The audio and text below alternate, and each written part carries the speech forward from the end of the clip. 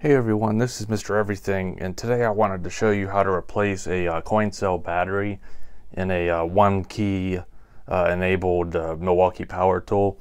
Now this is my first Milwaukee power tool, so I was reading the instructions, and since it's a new one, I think a lot of the newer ones have the one key built into them.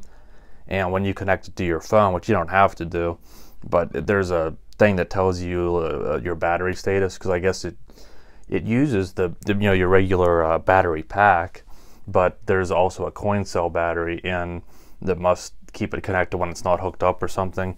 But uh, regardless, it said mine was a little low. So this is a uh, impact wrench, but mine is located here under the battery uh, compartment. So I'm not sure where it's at on other ones. I think most of the one key um, devices or pretty much drills and stuff Maybe there's some other ones coming, but so I would check here first. It should be in your instruction book.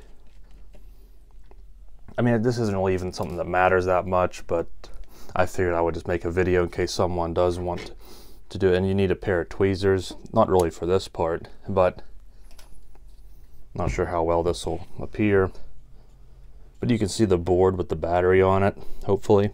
And you know, from here you you think you know, there's no way, but this is actually on a cable, so you can pull it out. So this is where I use the tweezers.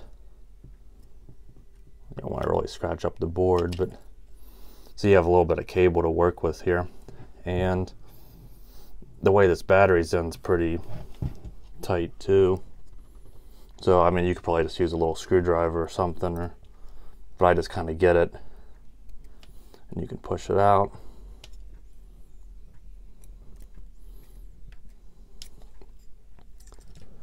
So let me hold this. So the positives up top and like the kind of that coin looking spot that faces down.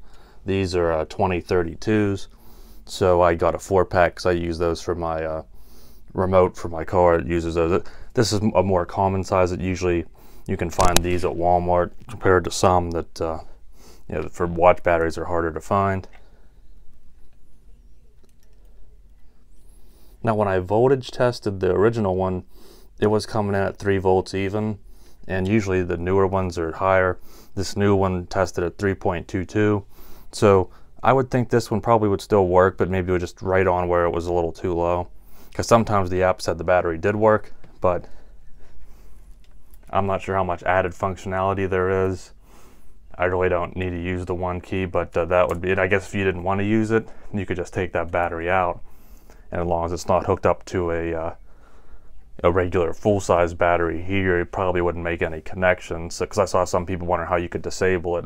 Well, if you can get to the battery on your tool, and you might want to check the owner's manual if it's a one-key device. But I mean, and then putting it back together is self-explanatory. So I'm not going to bother with that. But uh, this was new to me, so I'm not sure if anyone else is new to the one key or not. But that's where you get your battery at at least for this one at the 2032 and that board should be able to pull out. So hopefully this helped you out. Uh, thanks for watching and you'll see me in the next one. Have a good one